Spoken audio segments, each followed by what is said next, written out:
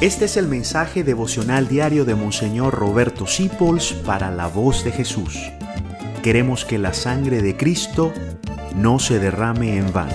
Paz y bien en nuestro Señor Jesucristo. Hoy quiero compartir contigo el verbo sentir. Dios no es insensible.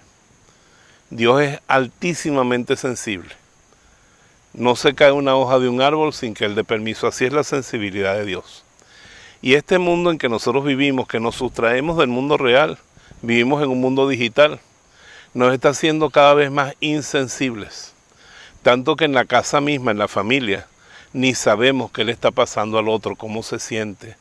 A lo mejor tú trabajas en una empresa donde no sientes lo que siente el jefe, ni sientes lo que sienten los demás. Recuerdo la película Hermano Sol, Hermana Luna, que su canción tema dice, dulce sentir en mi corazón cómo humildemente está naciendo el amor. Cuando uno descubre a Dios, como San Francisco de Asís, se vuelve sensible a la belleza, también sensible al dolor. Pero el amor hace que todo se sienta hermosamente, tanto la belleza, la alegría como el dolor. salte, escápate de la insensibilidad del hombre posmoderno. No seas así. No seas una inteligencia artificial si un corazón que vive.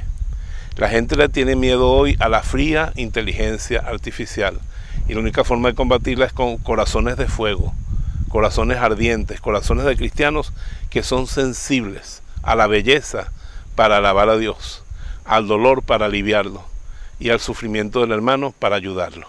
Señor, que yo no sea insensible, que no tenga un corazón de piedra. Haz muy sensible mi corazón, aunque eso muchas veces duela es mejor sufrir con un corazón sensible que no sufrir nada con un corazón de piedra esclerotizado. Que el Señor te bendiga con un buen corazón, en el nombre del Padre, del Hijo y del Espíritu Santo. Amén. Gracias por dejarnos acompañarte. Descubre más acerca de la voz de Jesús visitando www.lavozdejesús.org.be Dios te bendiga rica y abundantemente.